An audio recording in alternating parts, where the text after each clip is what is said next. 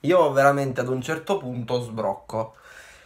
Ed è arrivato il momento di sbroccare perché de- determinati personaggi la devono finire di mettere in mezzo il Milan per riabilitare la loro immagine. Allora, partiamo dall'inizio.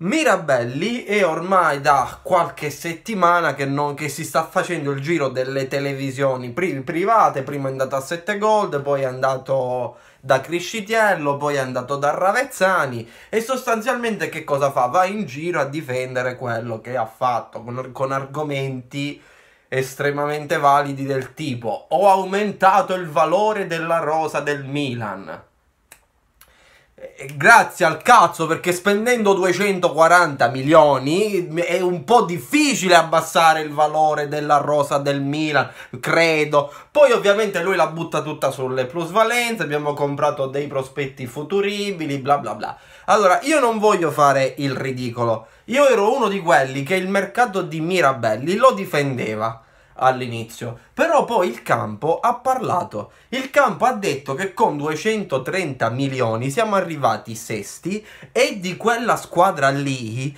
nel Milan del futuro, il Milan del fondo Iliot, ce ne saranno uno al massimo due di, dei famosi 11 acquisti di Mirabelli. Quindi, ragazzi, di cosa stiamo parlando? Del nulla. Poi tralasciando, tralasciando, no? Avevo preso Cristiano Ronaldo. Ora, ora, no. Avevo preso Cristiano Ronaldo con il fondo Iliot, posso garantire che Cristiano Ronaldo sarebbe un nuovo calciatore del Milan. È un po' come se io andassi al concessionario Ferrari, no? Ordinassi una Ferrari e dicessi, ma scusi, posso comprare quella Ferrari lì? Sì. E quanto costa? Un milione. Ascolti, io un milione non ce l'ho, però eh, se fossi stato il figlio di Rockefeller, quella Ferrari era mia. Cioè, è lo stesso ragionamento, è lo stesso cazzo di ragionamento. Poi, ovviamente, ti va a dire le perle del tipo io avevo preso Aubameyang, anzi Abumayang, e Montella ha bloccato tutto perché voleva Kalinic. Allora, e ovviamente che cosa, che, che cosa, succede? No, arriva l'altra parte, perché poi anche Montella ha fatto un'intervista a Sky. Tutti insieme arrivano, no? Tutti insieme, proprio nello stesso periodo fanno tutti le stesse interviste, chissà perché. E Montella difende chiaramente il suo operato attaccando Gattuso, dicendo Gattuso ha sbagliato a criticare la mia, pre- cioè la mia preparazione e il modo in cui io ho allenato la squadra. Poi, ovviamente, lui ci butta in mezzo altri nomi perché ha detto io, cioè, stavamo per prendere Morata, stavamo per prendere Bazzuai. Allora,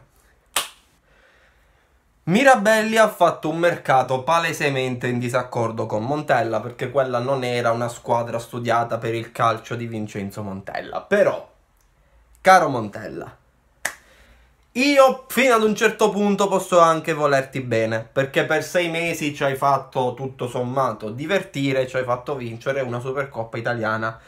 Il problema è che, que- che, dopo quei sei mesi hai campato di rendita letteralmente sulla finale di Doha, collezionando figure di merda una appresso all'altra. Poi è arrivato Fassone, è arrivato Mirabelli, il tuo Milan è colato a picco a picco, proprio è crollato come un castello di carte. Sei andato a Siviglia e anche lì hai preso piselli in faccia. Quindi potete benissimo capire che qualche problema nel modo in cui alleni i tuoi giocatori probabilmente c'è. Perché se vai alla Sampdoria, fai sei mesi, flop.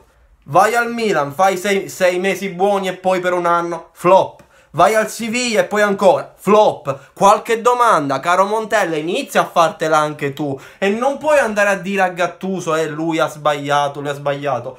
Cioè ragazzi, io ho criticato fino allo sfinimento il Gattuso qui dentro, non mi fa impazzire. Com- cioè, per le scelte che fa, non mi fa impazzire per il gioco che ti, che ti propone, ma Gattuso l'anno scorso ha preso una squadra a pezzi, a pezzi, quindi, ragazzi miei, volete rifarvi un nome per trovare un nuovo lavoro? Volete redimervi agli occhi della gente? Va benissimo, ma lasciate fuori il Milan.